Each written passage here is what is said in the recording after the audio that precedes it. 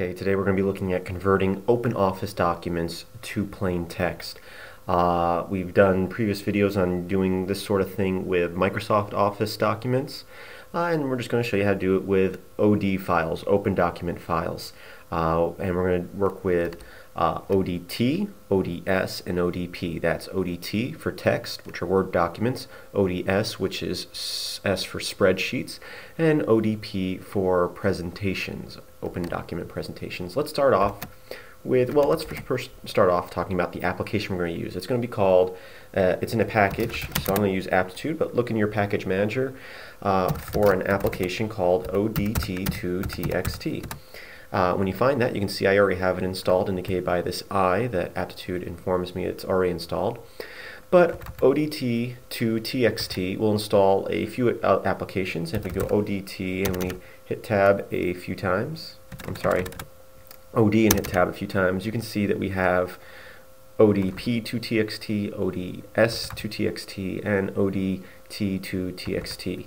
And those are three programs that are installed with that package that we're going to be working with today. So now that we've got that clear, go ahead and install that if you don't have it installed. Here is a very simple Word document I created. I gave it a little bit of formatting, some bold text and centered stuff to show you that since we're converting to plain text, we're going to lose all our formatting. All we're going to get is the text from within the file. So I saved this file as txt, or sorry, test.odt. If I come back to my terminal here, I can list out, you can see I have three files. This is the one that we were just looking at right here. If I do odt to txt and then the name of that file, and hit enter, you can see it displays all the text that is inside that Word document. This is my document, this is my text, some more text, and even more text, convert me. And you can see all that text here. And as once again, you lose all formatting because we're going to a plain text format. Now this is useful if you need to just grab information from a document for a script possibly. That's what I would use it for. Uh, if you need a little more information on what's going on inside that document, you can add a switch to this, dash dash raw, which will actually give you the XML output to this. So it has all the tags for all the formatting, and uh, you may be able to do more with that. But for the most part, I would leave that raw out for uh, things I would use it for, because I would just be, in most cases, looking for some text inside a Word document. Um, but all depends on what you're trying to accomplish. Next, let's move on and look at spreadsheets. Here's a very simple spreadsheet I created. Once again, we're going to lose all formatting, but if I just need to grab all the text from this document, I saved it as test.ods for spreadsheet.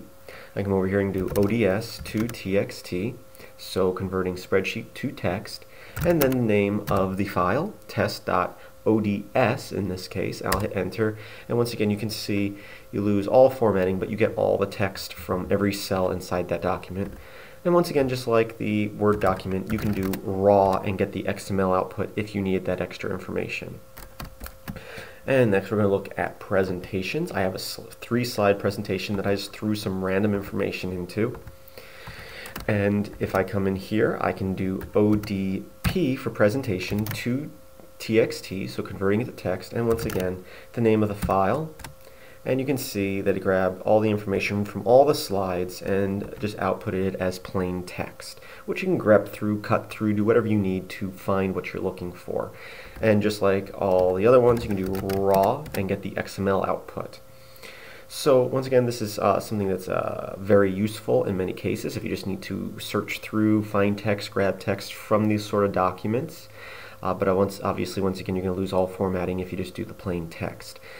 Uh, well, I hope you enjoyed this tutorial. Uh, this is a uh, Terminal Tuesday, as we're going to be calling them, uh, and we'll have command line stuff, terminal stuff on Tuesdays from here on out, if I can keep with the schedule.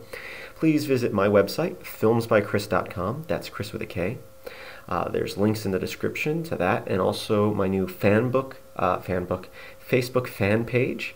Uh, if you are a Facebook user, go ahead and over there and like our fanbook fa page. Fanbook, I keep saying that. Facebook fan page. Also, um, please visit the links in the description, and I hope that you have a great day.